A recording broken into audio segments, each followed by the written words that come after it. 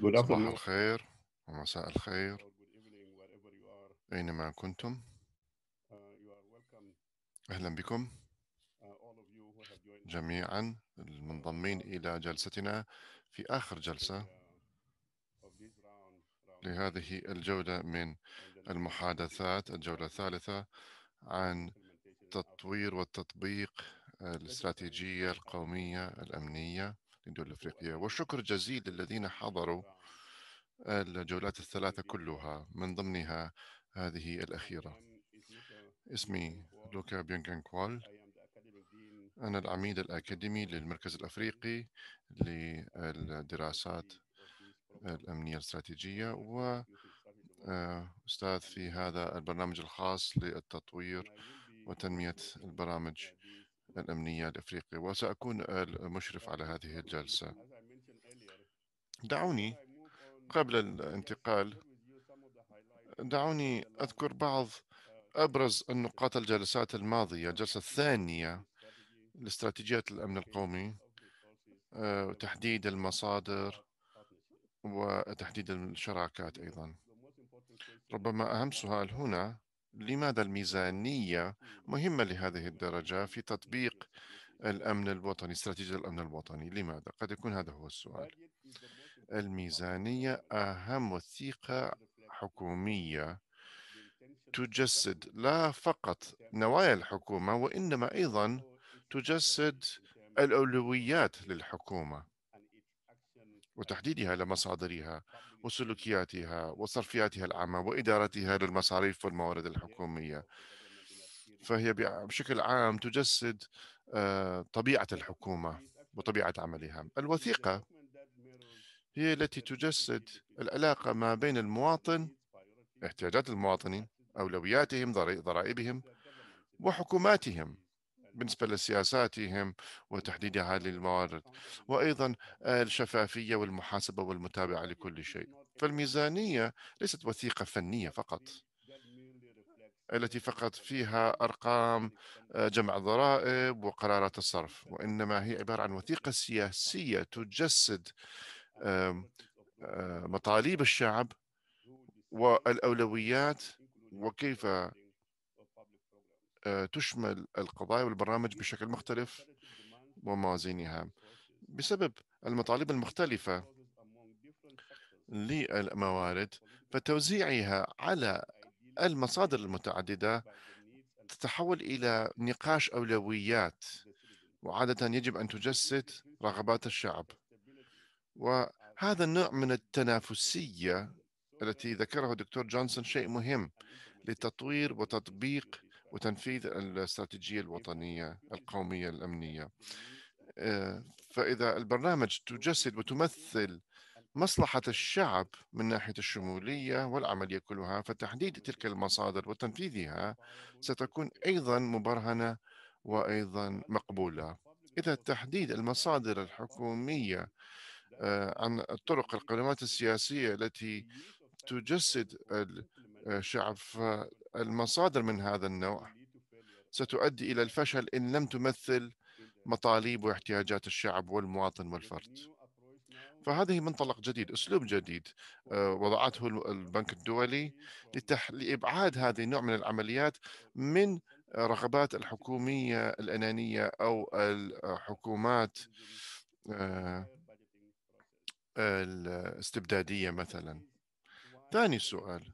لماذا المساعدة الخارجية مهم في هذا الصورة أيضا في في تنفيذ وتطبيق الاستراتيجية القومية الأمنية؟ طبيعة تهديدات الأمن اليوم التي تهدد خاصة الدول الأفريقية عابرة للحدود بصراحة والتي تحتاج إلى استجابة جماعية ليس فقط على مستوى دولة أحادية وإنما في إقليم وقارة والعالم كلها. فالقضايا المزعزعة للأمن والعوامل هي تهديد للأمن الوطني آه، بالنسبة للبلدان الحديثة أصلا التي تفتقر إلى هذه المشاكل. ف- آه، فهي مهم أيضا كي توفر الأمن لهذه القواطع فالمساعدة الأمنية للدول الأفريقية ليست مجانية لكنها ليست سهلة الوصول إليها وفيها تنافسية للحصول حسب البلدان الإفريقية المختلفة. كما قال سفير كارتر في المساعدة الأمنية لم تنجح في تحسين الحوكمة في القاطع الأمني في إفريقيا. وهذا ينسب جزئيا إلى المصالح الضيقة لبعض الأجزاء والحكام. وأيضا آه، آه، الافتقار إلى شمولية كافة الأطراف والشركاء لتوفير التحليل آه، لأولويات الأمن المحتاج إليها. في بعض بلدان أفريقيا مثل السنغال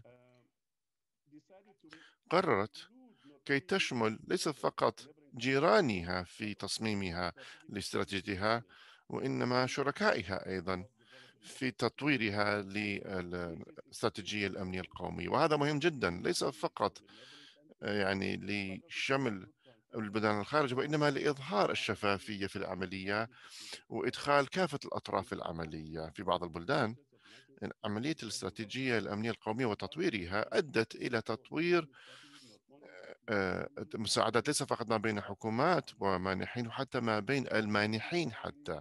فتصميم مصمم بشكل جيد من البداية هي على الأرجح ستؤدي إلى النجاح لإحراز أهداف الأمن القومي وأولوياتها.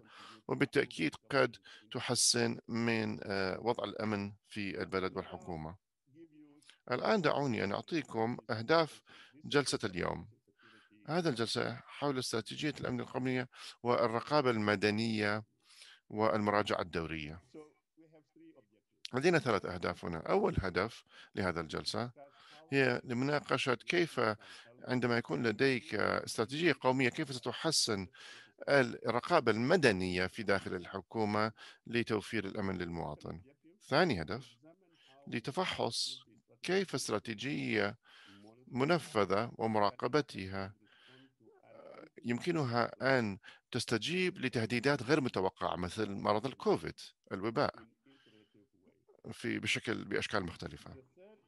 ثالث هدف للجلسات اليوم هي لمناقشة أنه كم عدد المرات ستراجع استراتيجية وطنية بشكل دوري زمني أثناء التطبيق طبعا وآليتها. 45 دقيقة. دعوني أقدم المتحدثين. يسرني أن أرحب آه، بناس بارزين في هذا المجال من الجهة المدنية والحكومية اليوم.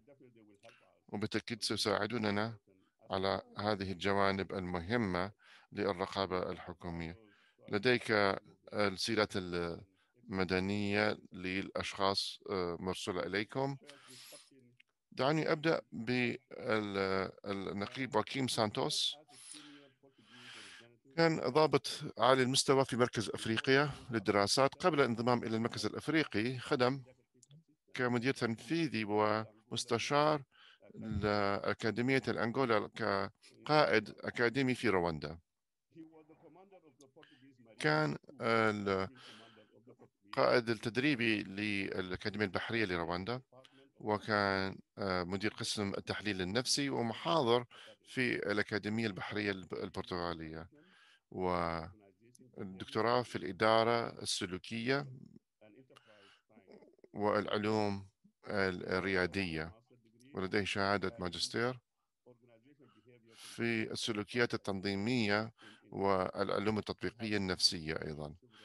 نشر عدة مقالات علمية في هذا المجال حول القيادة وتطويرها. فأهلا بك يا دكتور وكيم. كونك معنا اليوم. ثاني متحدث لليوم هانجل جيفرسون كان ما. هو المستشار الأمني القومي للرئيس ليبيريا. خدم كعضو بارز في المجلس الوطني لمجلس الأمن القومي والمخابرات الأمنية وأيضا المالي الأمني لمجلس الممثلين لليبيريا. خدم أيضا كعضو وكثالث نائب لبرلمان الإكواس. ولديه بكالوريوس في الشؤون العامة الحكومية والاقتصادية من جامعة ليبيريا. فسيد جيفرسون أهلا بك اليوم كونك معنا. وآخر وليس أخير شخص نعرفه آه، على طول هذه الجلسات دكتورة فيرلي. هي خبيرة مستقلة في النزاعات والأمن وهي التي راجعت استراتيجيتنا الأمنية القومية.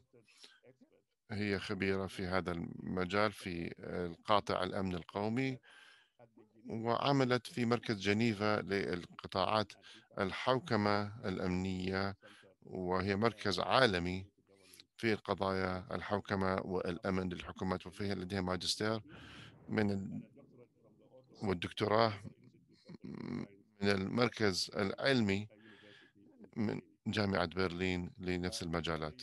فلي أهلا بك اليوم. مرة أخرى. دعوني أبدأ ب آه، مجرى النقاش من جانبي. أود أن أبدأ ب السيد كابتن واكيم. سيد واكيم اعتمادا على خبرتك هل بإمكانك أن تشارك مع المشاركين المفاهيم الأولية للتقييم والرقابة لإجراء تنفيذ البرامج الاستراتيجية ولماذا هي مهمة أثناء تطبيق وبناء هذه البرامج وفي هذه الحالة بالنسبة لبرامج الاستراتيجية الأمنية القومية؟ سيد واكيم تفضل سيدي الكلمة لك. لديك ستة أو سبع دقائق. صباح الخير جميعا. يسرني أن أكون جزء من هذا المجموعة المتحدثة أولا أحب أن أقول أنا لست خبير. في التنفيذ للسياسات الحكومية لكن في مجال المهني الأكاديمي شاركت في عمليات كثيرة إجرائية كثيرة مشابهة وفي تطبيقات مشاريع مختلفة وأحب أن أشاطركم البعض منها. المفاهيم للرقابة مربوطة عادة بمفاهيم الإدارة الإدارة كمفهوم عام. وآخر مرحلة طورية هي موضوع السيطرة. ففي حالتنا نتحدث عن التطبيق والاستراتيجية الوطنية آه، للأمن القومي التي من ضمنها الوزارات المعنية ولاعبين آخرين في المجتمع المدني. فالإجراء والعام لهذه الدورة العملية كلها تتكون من أربع مراحل. أولها التخطيط التي قد تكون المرحلة التنظيمية الأولية ومرحلة التوجيه التي يمكن أن تكون جزء من التطبيق. فنحن لدينا أيضا مرحلة السيطرة حيث فيها نراقب النموذج التي سيشرحها أو شرحها الدكتور لوك جونسون في الأسبوع الماضي. المراجعة عبارة عن عملية تحصل أثناء فترة السيطرة الأولية لكن لا يمكن أن ننسى أن الرقابة والمتابعة مربوط بشكل جوهري مع المراحل السابقة للإدارة. هذا قد تكون غريب للبعض آه، في موضوع التقييم والرقابة لأن هذا يبدأ مع مرحلة التخطيط الأولي لأي استراتيجية كان. وهذا بالأخص صحيح في حالة التطبيق لاستراتيجية أمنية قومية. فتطبيق استراتيجية من هذا النوع كما رأينا في الماضي هي من أجل الوصول إلى الأهداف. وأيضا يجب أن نتوصل أو نؤسس تحديدات تاريخية زمنية وأن نحدد السبل للوصول إلى هذه الأهداف الزمنية. وهذا مهم لجلب أهدافنا عفوا لإنجاز أهدافنا. والأهداف يجب أن تكون واضحة. كي تكون كل شيء واضح وصلب للمطبقين المنفذين. فعندما نعرف هدف أي ليس فقط يعني أشياء ليست أشياء نظرية وإنما أشياء ملموسة فعلية. مثلا يجب أن نتطرق أن نذكر إلى الأهداف بموضوعية آه، آه، جازمة واضحة. وتطبيقنا تكون أحسن عندما تكون الأشياء أوضح. مثلا مستوى التطبيق وخلق لهذه آه، المؤسسات التنفيذية للبرنامج وتنفيذ الجوانب المالية والميزانيات. هي أمثلة من هذا النوع أو مؤشرات مدلولات للعملية كلها التي هي موضوعية يمكن النظر إليها. و بالإضافة إلى ذلك يجب أن نركز على أنه بدون هذه المؤشرات فلا يمكننا أن لا يمكنها أن تكون عندنا مراقبة وتفعيل آه، ناجعين. وكما قلت في السابق عندما نعمل في إطار التخطيط فالمنظمات وكل آه، يجب أن تأخذ بعين الاعتبار آه، يجب أن تأخذ بعد الاعتبار يعني استعمال أو يجب أن تلج إلى طبعا الوزارات المهمة ويجب أن تفكر بالموارد ويجب أن تكون لها علاقة تفكر بكل العلاقات الوطيدة بين الفاعلين وبين المسارات وبين العمليات من أن يكون أن يكون هناك تنسيق فعال في إطار هذا المسار الذي يقودنا إلى ما أسميه ب بأدوات أدوات ناجعة وهو هنا نتكلم عن مجموعة الأدوات المستعملة فهي كلها أدوات ومهمه يجب أن نأخذها بعين الاعتبار ويجب أن نتأكد من أنها موجودة ومتواجدة في إطار المتابعة وفي إطار كل المراحل. بالنسبة للتفعيل يجب أن هناك بعض المشاكل التي قد نواجهها والمشاكل العقبات التي قد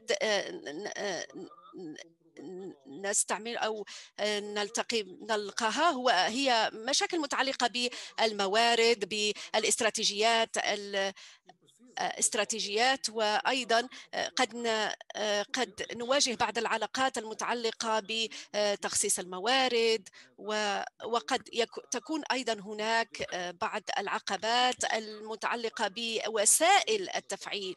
وهذا أيضا يقودنا إلى مرحلة أيضا التح الاعتماد أو التحكم آه، والاداره والتي فيها يجب أن نقوم بها بتقييمات وبمراجعات أساسية آه، على مستوى القطاعات آه، وعلى مستوى المراحل. هذا يعني أنه يجب أن نقوم بملاحظات بمتابعة وبطبعا بكل المراحل الأساسية من أجل أن نتحكم في هذه المرحلة. فيجب أن يكون هذا كله داخل سياق معين وأن نستعمل نستعمل بما آه، ما ذكرته من قبل آه، المسودة مسودة التفعيل. آه، هذا أساسي جدا وهذا إنه أقول إنه مسار تشاركي تشاركي يشارك فيه كل أصحاب الفاعلين من أجل أن نصل إلى النتائج الأساسية. بالنسبة للجزء الثاني لسؤالك سيدي قلت لماذا آه، طبعا التقييم هو مهم في إطار هذا المسار. أنا للجواب على هذا السؤال أود أن أقول أن هناك هدفين هدفين بالنسبة لي في التقييم آه، هناك تقييم أول الذي فيه يجب أن أن طبعا أن نعطي المسؤولية لكل الفاعلين وأن وأن نتأكد من أن المسار كله فيه توازن أن نعرف أن ما يحصل في في المسار وأن كل النتائج آه، توصل إليها في آخر المطاف وأن وأن لدينا كل الوسائل من أجل أن نتابع نقوم بمتابعة النتائج. بالإضافة إلى ذلك يجب أن نقوم آه، ب آه، عمليات أساسية آه، التي من خلالها نتأكد من أن الوسائل والتدابير الأساسية آه، هي تتماشى مع الأهداف التي حددناها في الأول. يجب أن نقوم بتقييمات أساسية آه، تمكننا من رؤية ما إذا كان ممكن أن نتأقلم مع الوضع ومن المسائل مضبوطة وأن بالنسبة لهذا التقييم وكل المؤسسات التي تقوم بالتقييم يجب أن أن أن طبعا تتأكد من أنها آه، في آه، تطبق كل الموارد وأن مسألة المراجعة تمت بنجاح وأن وأن كل المسار ضبط على ما يرام. بالإضافة إلى ذلك بالنسبة لمسار التعلم آه، إنه أقول إنه مسار يجب أن نأخذه بعين الاعتبار. آه، يجب أن نستعمل كل العوامل وأن وأن وأن التغييرات كلها آه، آه، يعني على ما يرام وأن كل المبادئ التي آه، أخذناها بعين الاعتبار يجب أن تقيم وأن المتابعة تمت على ما يرام أن المواعيد النهائية والأجل والتواريخ كلها محترمة من أجل أن نسير إلى الأمام. شكرا. شكرا جزيلا السيد وكيم لهذه المداخلة ومن أجل لمداخلتك فلقد تكلمت عن كل المؤشرات من أجل تطوير وتكلمنا عن أيضا كل تنظيم المعلومات نظام المعلومات وتحدث أيضا عن كيفية وصولنا إلى الأهداف. تحدث عن المؤشرات التي يجب أن نتفق عليها. يجب أن يكون هناك توافق أراد بالنسبة للمؤشرات من الأول. واحدة من الأشياء التي كنت أود أن أشاركها مع الحاضرين.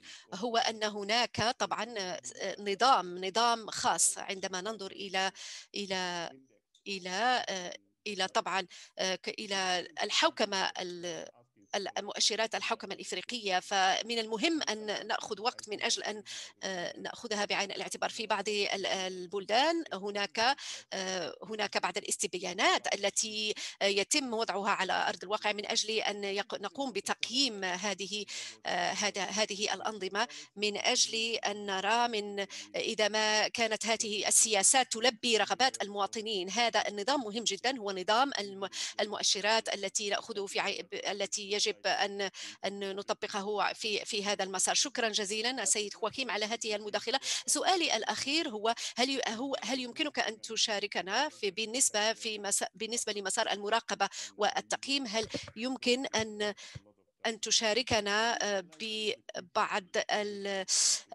المسائل المتعلقة بهذه المرحلة مرحلة المراقبة والتقييم في إطار آه، آه، استراتيجية الأمن القومي. كيف هل كانت هناك تحديات؟ وكيف تم تحدي هذه التحديات أو مواجهة هذه التحديات؟ شكرا. السيد خواكيم الكلمة لك. شكرا جزيلا. لهذا السؤال سوف أحاول أن أجيب على هذا السؤال بإيجاز. آه، آه، أول شيء آه، الذي أود أن أقوله هو أن هناك تحدي والتحدي الأول في استراتيجية الأمن القومي هو عدم احترام المبادئ الأساسية التي آه، هي منصوص عليها والتي هي في إطار مرحلة التقييم والمراقبة. نحن نتكلم هنا عن مؤشرات مؤشرات آه، مؤشرات وتعريف هذه المؤشرات آه، في إطار كما أقول هذه المرحلة مرحلة التقييم والمراقبة ف بالنسبة لمسألة التقييم هناك هناك مسائل يجب أن نحترمها. هناك الشفافية هناك أيضا آه، هناك أيضا شروط يجب الاتفاق عليها والتي هي مطبقة آه، في إطار هذه المرحلة. يجب أن ننظر إلى طبعا ثقافة السرية التي لها أهمية آه، جوهرية خاصة في بعض السياقات الإفريقية. يجب أن طبعا أن كل هذه العوامل في في بعض الأحيان هي هي غير غير واضحة فيجب المجتمع المدني أيضا يجب أن يكون ضمن هذا المسار يجب في هات في في ضمن ثقافة السرية هذه آه، المجتمع المدني. كما قلت يجب أن يكون حاضر كل القوات الأمنية أيضا. يجب فكل هذا إذا آه، قد إذا لم يكن آه، هناك متواجد قد يؤدي إلى نقص في الثقة وإلى وإلى بعض العقبات التي قد نواجهها في في وضع سياساتنا. فثقافة السريه هذه هي شيء مهم يمكننا أن نبررها في في بمسائل عبر مسائل العملية و في إطار استراتيجية الأمن القومي يجب أن تكون هناك شفافية يجب أيضا أن نأخذ بعين الاعتبار أن قد أنه قد تكون هناك تغييرات على أرض الواقع في إطار هذه الاستراتيجية فيجب أن نقوم بتحديد الأولويات الأساسية آه، و آه، ويجب أن أن أن أن نأخذ بعين الاعتبار مسألة الموارد تخصيص الموارد ويجب آه، أن نتجنب بعض بعض طبعا التحديات من طرف المواطنين ويجب أن يكون هناك إدماج وأن يكون هناك طبعا مشاركة كل القطاعات في في في هذا المسار. يجب أيضا أن ننظر إلى مرحلة التقييم كوسيلة للإشراف للقيام بالإشراء ويجب أن نأخذ بعين الاعتبار كما قلت ثقافة السرية هذه التي هي لها قيمة جوهرية. في مسار المراقبة هناك نعرف أنه هناك لجنة تقوم بهذه المراقبة ويجب أن نطبق كل المبادئ التي هي متواجدة كما يرى. هذا هذا قد يمكننا من من السير إلى الأمام. أيضا يجب أن نتأكد من أن كل المعلومات متوفرة وأن وأن المرحلة المراقبة والتقييم هاتين هما مرحلتين أساسيتين. ف هذا هذه هي الطريقة الوحيدة التي تخول لنا الطريق طريقة التحكم في المسار. بالإضافة إلى ذلك يجب أن يكون هناك أن تكون هناك طبعا معلومات متوفرة من أجل أن يعرفها الجميع وأن وأنه يجب أن تكون هناك مبادئ واضحة من أجل في إطار الأمن الإنساني هذا. فنحن نتطر نتعامل مع مسألة أمنية وأن أصحاب المصلحة أصحاب المصلحة يجب طبعا أن يكونوا على دراية بما بما يحصل.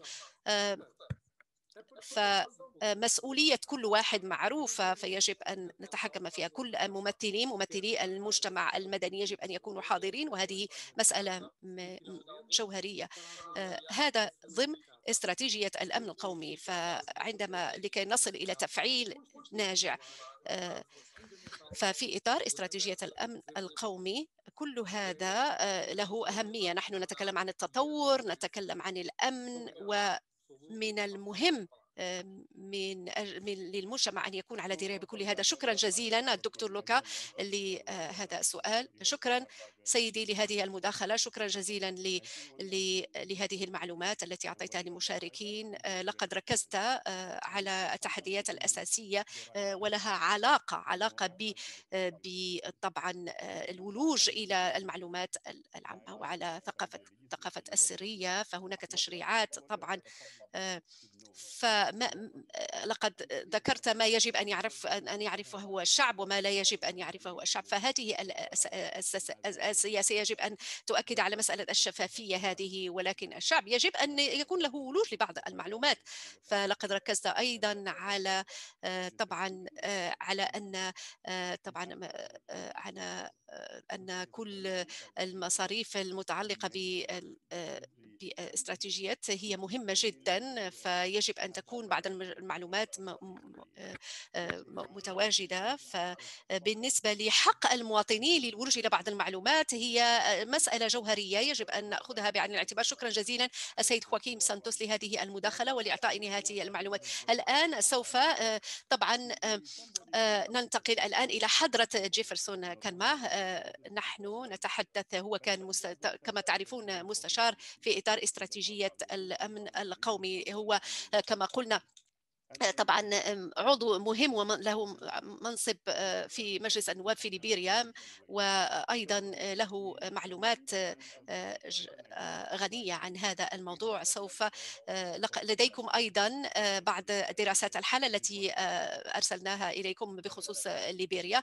فطبعا هي أساسية من أجل معرفة هذا الموضوع. حضرة السيد جيفرنون حسب تجربتك الخاصة في قطاع الأمن هل بإمكانك سيدي بإيجاز أن أن تتكلم لنا عن دور البرلمان في الإشراف على القطاع الأمن؟ ولماذا هذا؟ الدور هو جوهري وأساسي من أجل تحسين الحكمة ومن أجل تلبية أحسن لقطاع الأمن للمواطنين. شكرا جزيلا. أشكرك دكتور لوكا على هذا السؤال.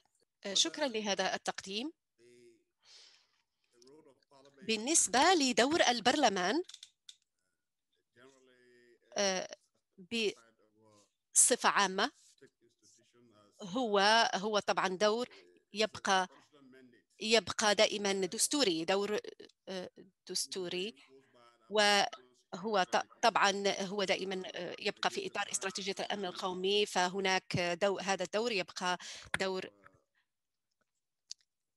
دور دور في خلفية يبقى في إطار خلفية ال- الحوكمة ففي إطار طبعا فقبل طبعا الأزمة التي مرت في ليبيريا فالبلد كان طبعا كان له نظام خاص وكانت ال- البلد كان كانت هناك معارضة في البلد. كما تعرفون كان مجتمع مدني وكانت هناك بعض المواجهات اعتراضات وكانت فكل نظام الأمن كان طبعا مقاد آه، كان آه، كان كانت تمت قيادته آه، بطريقة خاصة في النظام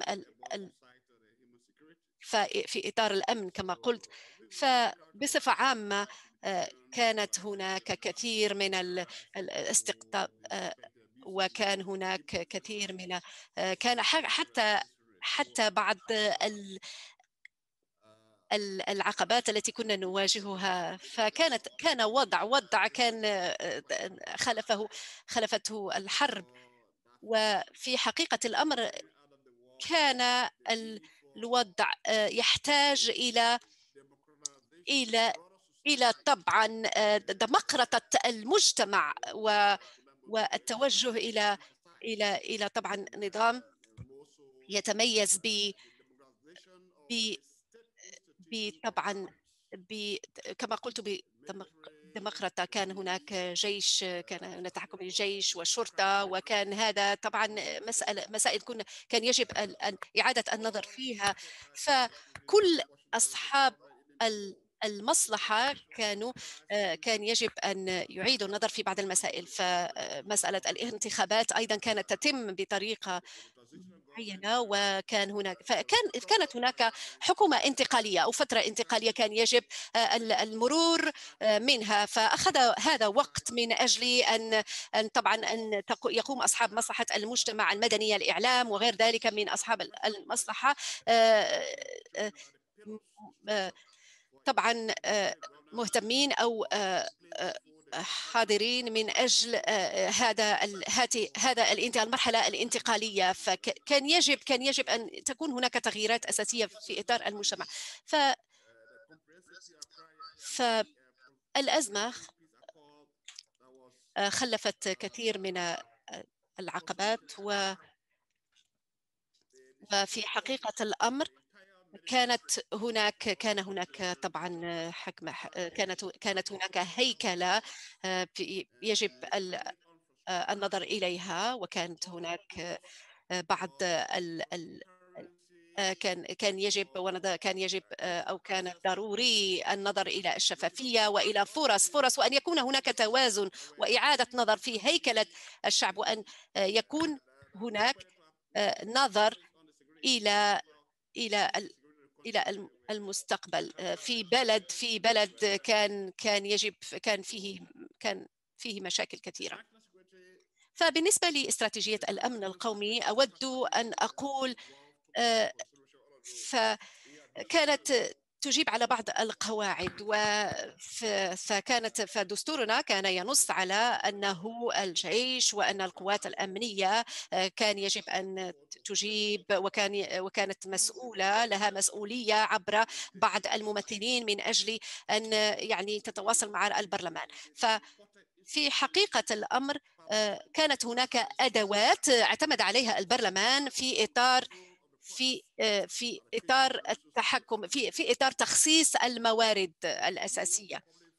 فلم يكن آه، كانت هناك بعض المؤسسات أيضا التي آه، كان يجب أن نقوم بتحضيرها من أجل أن تشارك وأن تنسق هذا المسار مسار الفترة الانتقا- الانتقالية. هذه مسألة جوهرية لأنه في إطار هذه القضية كان يجب أن نتم بمراجعة بعض أو ال- النظر إلى بعض المؤسسات مؤسسات الجيش وكان يجب أن يكون هناك أيضا بعض التغييرات الأساسية من أجل التواصل مع البرلمان.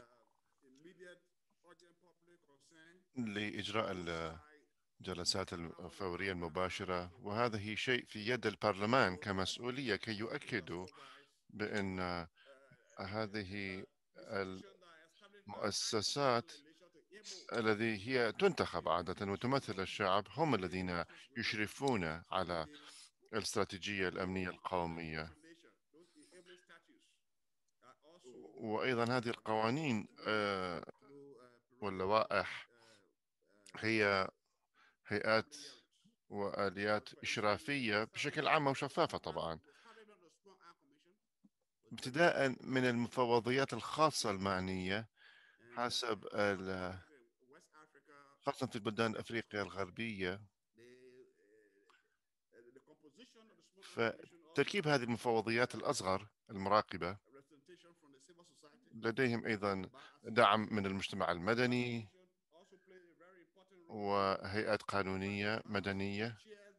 هم الذين بصراحة يشرفون على الشرطة أيضا كهيئة رقابية قانونية على العمليات فالمجتمع المدني ولاعبيهم يؤكدون بوجودهم بهذه الهيئات بأن الهيئات الحكومية تعمل دورها كشركاء وكهيئات رقابية وهم محاسبين أمام الشعب. في حالة البرلمان مثلا فالبرلمان دورها هي التأكيد بأن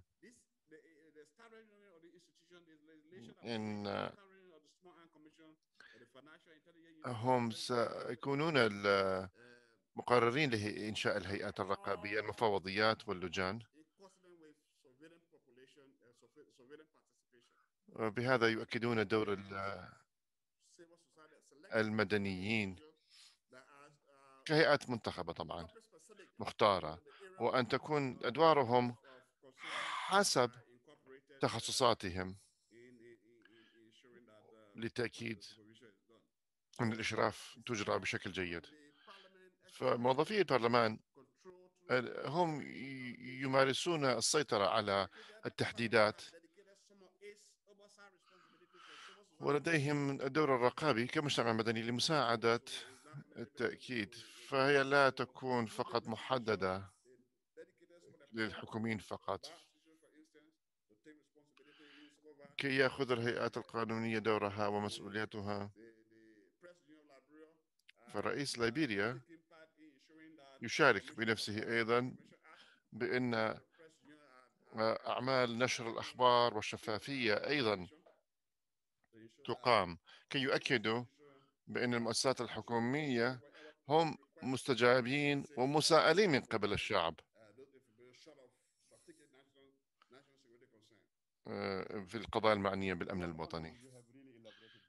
شيخ جيفرسون أسهبت في الشرح شكرا. والنقطة المهمة هي آه، دور الحكومة في السيطرة على آه، مسؤوليتها. وأيضا دستورية الدور المدني ف فهي يعني يعني متطلب آه، دستوري. فميزانية هي قانون قانون تشرع.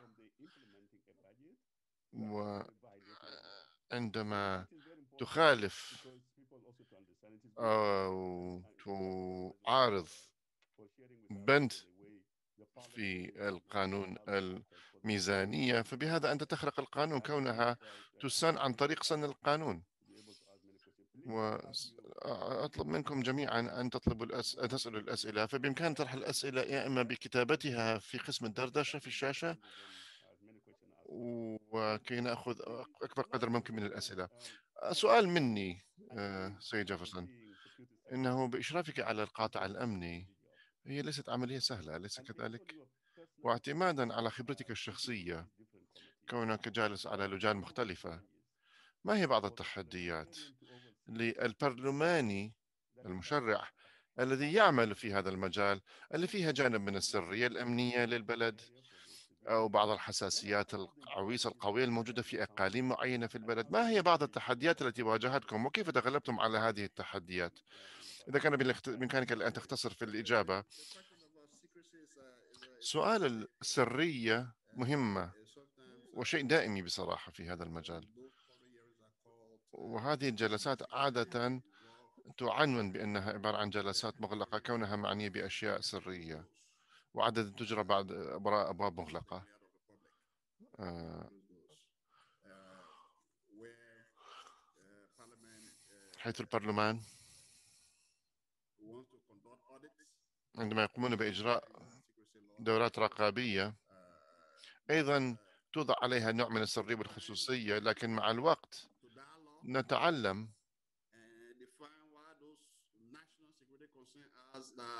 وأن نكتشف ما هو سري وما هو غير سري وأن ونتعلم كيفية تصنيفها. فهي خط رفيع بصراحة ما بين ما نجعله سري وما نجعله غير سري. وأيضا كي نبتعد عن إخفاء الأشياء عن الشعب باسم السرية. فهنالك قانون خاص تسن تسن لتوضيح التعريف السرية وعدم السرية. وأيضا لممارسة حول سؤالك حول المصادر. فالبرلمان هي التي تشرف على التكريسات المالية. فبزياراتهم مرات آه، مثلا آه، حتى مدى إيجاد المال الكافي للوصول للموظفين الحكوميين للوصول إلى الأماكن النائية صعبة الوصول فهذا مشكلة أيضا. ف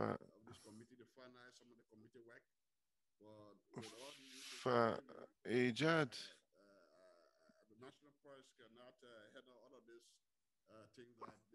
ففي بعض الأحيان تكون العملية صعبة. لتلبية آه، كافة الاحتياجات المالية آه، حسب بعض الخصوصيات. شكرا جزيلا.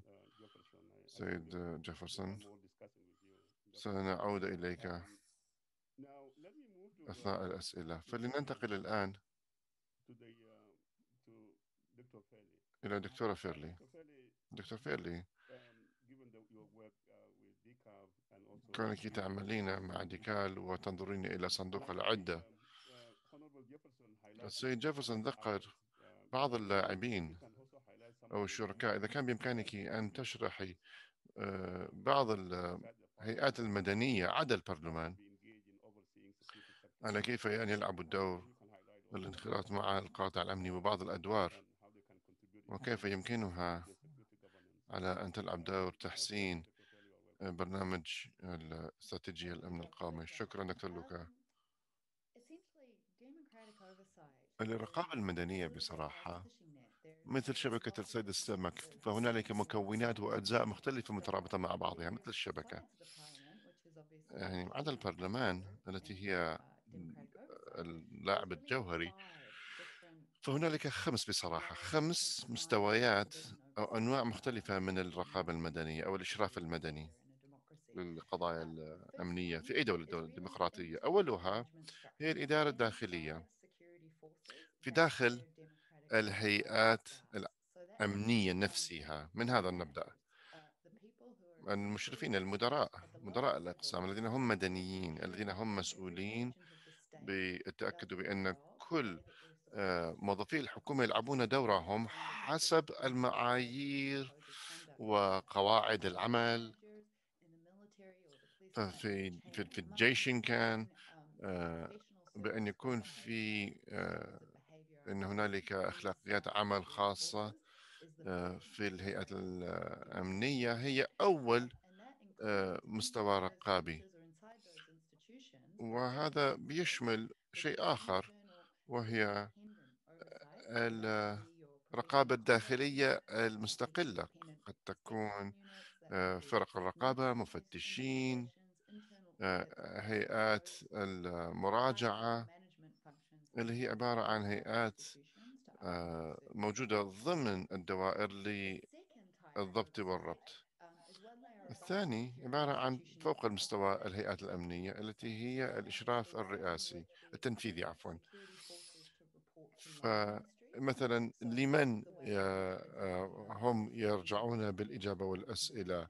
الهيئات التي هي ما فوق خارج وزارة الدفاع نفسها أو دائرة الشرطة مثلا أو إذا كانوا ضمن وزارة الداخلية أو ضمن وزارة العدل حسب البلد وحسب تصميمها حيث هذه الهيئة الخارجية عن هذه الوزارات هي التي تصل إلى آذان الحكومة رئيس الحكومة رئيس جمهورية رئيس وزراء كان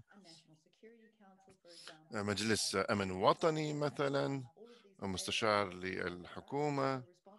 فهذه هي اللجان التي تعود بتقاريرها إلى هيئات هم الصائغين للسياسات. ومستوى آخر من الرقابة الرئاسية هي لها مربوط بجانب المالي فالمحاسبة والمتابعة. فمثلا وزارة وزارة المالية مثلا ستكون لاعب أساسي في أي هيئة ديمقراطية. الآن الرقابة الثالثة لدولة ديمقراطية توفر من قبل هيئات مستقلة تامة. فمؤسسات مثلا التي هي موجودة في داخل الدولة لكن لديها استقلالية كاملة قانونية قد تكون حسب تخصص معين مثلا. مثلا إذا كان لديك هيئة فقط مشرفة على أشياء عسكرية أو منظمة مستقلة لديهم دور عام مثلا مفوضية الحوكمة مفوضية حقوق الإنسان مفوضية مكافحة الفساد التي لديها مثلا مهام مستقل تلمس عادة نواحي الأمن القومي بشكل مباشر. الرابع الإشراف القضائي. من جانب ماذا نعني؟ أنه المنظومة القضائية مثلا في إذا كان في خروقات للقانون خروقات جنائية من قبل شخص يرتكبه في دوائر الأمن وزارات الحكومة فالهيئة القضائية مسؤولة في مقاضاة هذه القضايا ولكن جانب ثاني في الجانب القضائي هي أن نرى فيما إذا كانت القوانين والسياسات الموجودة التي تخلق وتكون وتركب وتشرع من أجل هذه العملية متوازية مع الدستور إذا كانت دستورية أم لا. ويحاولوا أن يعودوا ويفسروا ويمحصوا هذه البنود. كي, ترى كي يروا إذا كانت هي قابلة للتطبيق أم لا. وأخيرا خامسا اللي سمعنا الكثير عنها في حالة ليبيريا التي هي مفيدة هي الإشراف الشعبي. فمثلا الإعلام والمجتمع المدني والمواطنين أنفسهم الممكنين هم هيئات رقابية. وسمعنا أمثلة منها مثلا كيف مثلا هيئة هيئة المحامون والهيئة القانونية المدنية. في المجتمع المدني لديها دور لكن هنالك سبل أخرى مثلا في الإعلام التي هي مهمة جدا فلها دور مهم ودور جوهري ومقام في عيون الناس. وهذا يبرز دور وأهمية الرقابة الشعبية. ويجب أن تكون باتجاهين. فليست الحكومة أو الأمن تقول للشعب كيف يجب أن يروا أو أن يفهموا المفاهيم الأمنية؟ يجب أن يكون الحكومة أيضا هي صاغية للشعب عن حول الاحتياجات وإذا كانوا راضين أم لا كشعب. فهذه هي النقاط الخمسة اللي هي الداخلية الإدارة التنفيذية هيئات مستقلة القضائية والشعبية. وأيضا فوق هذا كلها لديك البرلمان أيضا طبعا. شكرا دكتورة فيرلي على هذه التفاصيل. في شرح عدد وأنواع اللاعبين وأهمية التواصل في القطاع الأمني خاصة في حالات مثلا بلدان فيها افتقار إلى الثقة ما بين الشعب والحكومة. فأعتقد دور المجتمع المدني فهذا مهم في هذا الحال. سؤال ثاني. مبني على ما قاله السيد واكيم حول الهيئات الرقابية أو النظام الرقابي في الطور التنفيذي والتطبيقي للأمن. هل بالإمكان أن تشرح إذا كان في أساليب وأشياء وأنواع أخرى من لجان رقابية وما مقامها في ضمن طيات الحكومة أو الدولة؟ هل هنالك آليات أخرى رقابية؟ نعم. شكرا. كل نظام مختلف عن الثاني كل دولة. حول إدارتها للأمن على مستوى مؤسساته فالاستراتيجية الأمنية الوطنية طبيعتها صياغتها تطبيقها على مفهوم وطني لها تأثير على مستوى المسؤوليات لاحقا. وهذه بصراحة يعني فيها الكثير من المكونات المختلفة مثلا آه، لجنة صياغية مثلا يمكنها فيما بعد أن تتحول إلى لجنة رقابية. و... وأن تصبح هي مسؤولة عن آه، التطبيق الوثيقة الذين هم كونوها. لا بأس لما لا. وأيضا قد تكون سلطة رئاسية. رئيس الحكومة رئيس الجمهورية أو رئيس الوزراء بإمكانه أن تكون هي الهيئة المراقبة. وهذا قد تعني عدة أشياء. هذا تعني أنها قد يكون للخ... للوزارات دور في الرقابة. وقد تعني أن هنالك آه، مستوى حكومي أرفع آه، ناظرة إلى التنسيق مثلا المجلس الأمن الوطني. وربما قد تأتي من مكتب رئيس الحكومة رئيس دولة أو رئيس وزراء. وقد تكون الحالة أنها في بعض الحالات أن البرلمان قد تكون لها مفوضية ومخولة بالرقابة والمتابعة وأن تكون هي الهيئة الرئيسية الحكومية المراقبة. مثل مفوضية خاصة مشكلة للقوات المسلحة أو شيء من البرلمان تكون لهذا الغاية. وقد يكون في مثلا يعني هيئة مستقلة إشرافية حيث مثلا مركز فكري أو هيئة مستقلة آه، تقنية. هم الذين كانوا أصلا في البداية ربما كانوا شركاء في الصياغة الأولية وقد يكونون مسؤولون في المتابعة والتطبيق. وفي ليبيريا هذا حصل. حيثما آه، كان في مفوضية الإصلاح الحكومي التي هي أيضا فوضت فيما بعد بالرقابة والمتابعة آه، للوثيقة وت- وتطبيقها. ما مهم هنا إنه علينا أن نفهم إنه ليست فقيقة بص- بصراحة هي مهم يعني إن المؤسسة ودورها هذا شيء يمكن الاستقرار عليها وإنما جودة المتابعة المستوى كي تقوم بعملها؟ وهذا قد تعني عدة أشياء. أولها من هو مسؤول المتابعة؟ يجب أن يكون يعطى له مسؤولية كاملة لهذا الدور من أرفع المستويات أن يكون أعلى السلطات وراءهم داعمين لهم. آه، كي يكونوا قادرين على القيام بها. بالإضافة إلى مصادر أن توضع في أيديهم للتطبيق والقيام بها وأن يكون ورائهم دائما الدعم السياسي العالي.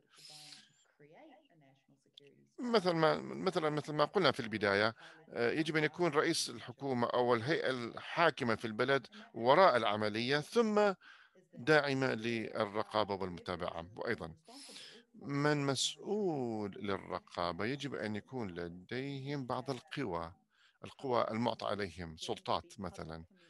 مثلا يجب أن يكون في مثلا آه، تواصل عام وشفاف وأن لا كان لديهم سلطة أيضا على إعطاء بعض التوصيات لحل بعض النزاعات وأن لا يكونوا فقط قالب بدون آه، سلطة أو قوة أن يعطى لهم بعض القوى القرارية. فمن مسؤول للتطبيق يجب أن يكون لديهم الإلمام والمعرفة والنفسية الصحيحة والاحترام لهم من قبل السلطات والهيئات الأمنية وأن يكونوا معرفين من هذه الجهات وأن يكون لهم مقام اعترافي لأنها كلها تصبح جوانب شرعنة موقفهم شرعية موقفهم. أيضا الوصول إلى المواقع عدم حجب المواقع عنهم وحجبها. ف آه، مثلا كل هذا ستعتمد على آه، الوصول إلى المعلومات التي قد تكون محتاجة لهذه اللجان والتي قد تكون مواجهة مشكلة السرية هذا اللي كانت شيء ذكر قبل قليل. بالتأكيد تفاصيل التطبيق للأمن الوطني قد تكون سرية بعض تفاصيلها لكن هنالك طرق آه، يمكن تجنبها للمحافظة على السرية وأيضا التأكد بأن التطبيق كانت صحيحة أم لا. خاصة الذين هم موضوعين في هذا الموقع بأن لديهم يعني يعني إعفاء ومراجعة شخصية أمنية كي يكونوا قادرين على الوصول إلى الموقع وأن يكون لديهم القدرة التقنية والفنية حول المفاهيم وأن يكون لديهم النفسية الصحيحة. أي أن يكونوا ناس واثقين من أنفسهم قادرين على أن يكونوا حازمين للمحافظة على المصالح آه، لمصالح الجميع. الدكتورة فيلي شابي شكرا جزيلا هذا ممتاز. هذا ما كنا نحتاج إليه بالنسبة لمداخلتك هذه والكل واضح في آه، مجموعة الأدوات. أظن كنت أود أن أركز أيضا على ما قالته الدكتورة شابي آه، بالنسبة للمعلومات التقنية الأساسية التي يجب أن نتوفر نتوفر عليها. فهذا هذه مسألة جوهرية خاصة في قطاع قطاع آه، يتميز بتحديات. فيجب أن تكون هذه المهارات متواجدة ومن المهم أن نستمع وأن يستمع إلينا. آه، وأيضا آه، هذا السند أو آه، هذا السياسي هو أهم أهم شيء ومن أجل أن وأيضا ولوج إلى المعلومات الأساسية. طبعا الدكتورة فيلي آخر سؤال وهو سؤال دائما نرجع إليه مرارا وتكرارا. ليس لدي لا لا, لا يوجد جواب واحد على هذا السؤال. كم كم من مرة تظنين أن استراتيجية الأمن القومي تحتاج إلى مراجعة. آه، فطبعا هذا سؤال صعب. هذا سؤال يعتمد على السياق. كل سياق يختلف من سياقات أخرى ولكن هناك مبادئ يجب احترامها. يشارككم آه، هذا.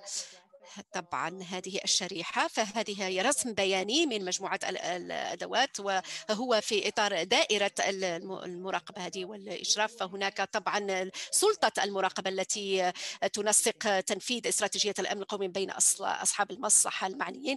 أيضا هناك تطوير استراتيجيات القطاعية للتنفيذ وهناك أيضا متابعة متابعة للتقدم في تنفيذ وفق آلية منصوص عليها. وأيضا في آخر المطاف هناك عملية التنفيذ فيها تعلم واكتساب الخبرة من المراقبة. فهذا كله يس يس يعني يسهل المسار ويقودنا إلى توفر, توفر على وثيقة حية. فكل هذه السياقات هي مهمة. يجب أن ننظر إلى القدرات وإلى كل أصحاب المصلحة الذين هم معينين بالأمر. في حقيقة الأمر ما ماذا يعني هذا؟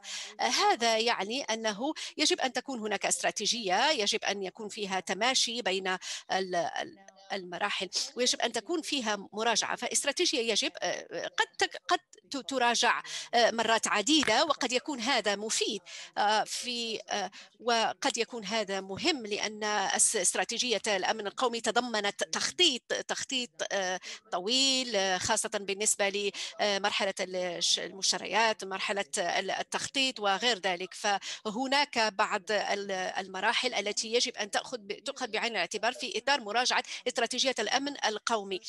آه، فإذا كانت الاستراتيجية تتغير باستمرار فهذا لن فربما قد نحتاج إلى نهج على المستوى الطويل. ففي بعض الأحيان عندما لا نراجع استراتيجية آه، بطريقة مستمرة فقد تكون النتائج غير آه، ناجعة وأن قد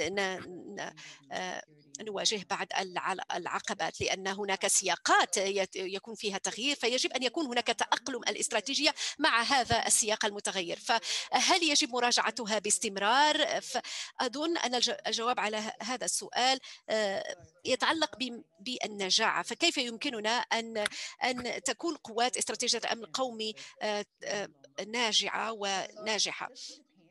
هذا قد يعتمد على استراتيجية بعينها ففي بعض الأحيان عندما نطور آه، بعض الاستراتيجيات يكون هناك مدة زمنية مثلا مدة خمس سنوات التي آه، يجب أن نأخذها بعين الاعتبار مسألة مرحلة التفعيل مرحلة ففي بعض الأحيان الاستراتيجية قد صلاحيتها تنتهي ويجب أن نتأكد من أجل أن أن هنا من أجل أن نتأكد أن هناك مصفوفة آه، وأن هناك مسار آه، يجب آه، أن يكون فيه آه، مراجعة بالنسبة لبعض المصفوفات وأن أنه يجب أن تكون هناك توصيات توصيات يجب التوصل إليها. في بعض الأنظمة هناك بعض التشريعات وبعض المتطلبات القانونية التي تحتاج وتتطلب مراجعات استراتيجيات الأمن القومي في بعض الأحيان. هناك إدارة جديدة التي تتطلب تطلب مراجعة استراتيجية الأمن القومي في بعض الأنظمة. هناك أيضا بعد الدوائر الدوائر الميزانية التي تتطلب مراجعة استراتيجية الأمن القومي قد في بعض الأحيان؟ قد هناك بعد الأجل موعد أو أجل نهائي أو موعد نهائي يجب من خلاله مراجعة استراتيجية الأمن القومي. فمراجعة هذه الاستراتيجية تعتمد على سياقات. إذا كانت هناك بعض التحديات في سياق الأمني فتصبح هذه المراجعة أساسية وضرورية في هذا المسار. فيجب أن يكون هناك تأقلم السياق الأمني مع هذه الاستراتيجية. هناك بعض المسؤوليات التي يجب أن تأخذ فيها هذه الاعتبار من الاعتبار من أجل أن تكون هذه المراجعة مراجعة آه، تتم بطريقة مستمرة. شكرا. الدكتورة فيرلي أظن أنك لخصت آه، طبعا كل هذا في آه، كلمات وجيهة وفي تدخل مداخلة وجيهة. شكرا جزيلا بالنسبة لهذا هذه المسألة المتعلقة بمراجعة الاستراتيجية استراتيجية الأمن القومي. كما تفضلتم بالقوم هذا يعتمد على السياق وعلى عوامل عدة. شكرا لمداخلتك هذه. شكرا ل لتفسير وتوضيح المدة التي يجب من خلالها مراجعة استراتيجية الأمن القومي. الآن أيها المشاركون.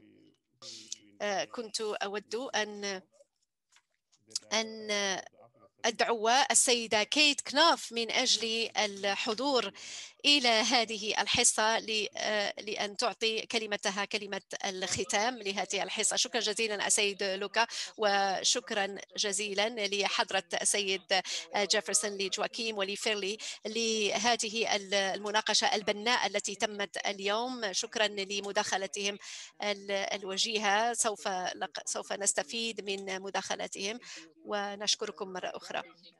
آه، كانت هذه مناقشة بناءة بخصوص تطوير استراتيجية الأمن القومي وتفعيلها ولقد قد مكنتنا من طبعا الاستفادة من بعض الأدوات الأساسية والوصول إلى الأهداف الجوهرية من من خلال تطوير استراتيجية الأمن القومي. هذا سوف يساعدنا على تلبية خدمات خاصة وجيدة للمواطنين أود أن أتقدم بشكري لكل المشاركين الذين كانوا موجودين معنا في هذه الدورة في وخاصة وأيضا في كل الدورات الثلاث في إطار هذا البرنامج الأكاديمي نتمنى أن تكونوا قد وجدتم هذه البرامج آه، مهمة وجيهة وأنه كان بإمكانكم التواجد في فضاء آه، آه، جيد ومكنكم من التعرف على بعضكم البعض والاستفادة من محتوياتنا. نود أن نبقى على اتصال بكم أيها المشاركين في من أجل أن نقوم بتحديد وتفعيل استراتيجيات أو حلول استراتيجيات. نحن أنا باسم مركز إفريقيا نود أود أن أتقدم بشكر لكل المشاركين آه، وعلى جهود التي قدمتموها وفي آه، في هذه الدورات. آه، طبعا اقرأوا وواصلوا قراءاتكم في إطار مجموعة لمجموعة الأدوات. السيد لوكا دكتور لوكا سوف يقدر هذا الاهتمام وسوف سوف نعطيكم معلومات أكثر وثائق أكثر وبعد الدراسات الحالة الحالة من أجل وسوف نشارككم نشارككم إياها. أيضا آه، استمروا في قراءة ال website والرابطة. فكل المعلومات متاحة على ال website. وهنا هناك أيضا برامج أخرى على على ال website. وهناك برامج مفيدة قد تثير انتباهكم. وابقوا على اتصال معنا. نود أن نستمع إليكم وأن نبقى على اتصال من أجل استماع إلى ردود فعلكم. شكرا جزيلا. شكرا لسيدة لويسا ولكل المشاركين معنا. وشكرا على منصبها الجديد وعلى مسؤولياتها الجديدة في هذا الإطار. مرة أخرى أتقدم بشكر لكل المشاركين لانضمامهم لهذه الحصة. فغدا سوف تكون هناك جلسة نقاش نرحب بكم إياها. وسوف نتصل بكم ونبقى على اتصال في أقرب وقت. شكرا جزيلا. الدكتور لك الكلمة لك مرة أخرى. شكرا جزيلا سيدة كيت على هذه المداخلة وشكرا لهذه المداخلة كما قلت أود أن أتقدم بشكري لكل الموجودين معنا آه، في هذه الحصة. لقد كانت آه، كانت آه، حصص وجيهة مكنتنا من التعلم ومن ونتمنى أن نكون قد أجبنا على طلباتكم. ف خلال مجلس جلسة المناقشات أو سوف تستفيدون أكثر من مبادئ ومن أدوات هذه الأدوات وهذه المناهج يمكنكم مشاركتها مع كل زملائكم في بلدانكم فإنه ليس عمل سهل إنه عمل شاق وهو يتطلب كثير كثير من من العمل الشاق. نحن نعرف أنكم سوف ترجعون إلى بلدانكم وسوف تحصل لكم الفرصة من مشاركة كل هذه الأدوات وهذه المناهج مع مع زملائكم. نتمنى أن نكون نكون عند حسن ظنكم. نتمنى أن نكون قد قدمنا معلومات جيدة. ونتمنى أن تكونوا خبراء في خدمة بلدانكم خاصة في إطار تطوير استراتيجية الأمن القومي هذه. وأن تلبوا رغبة مواطنيكم مرة أخرى. أتقدم بشكري الجزيل لجميع المشاركين الموجودين معنا.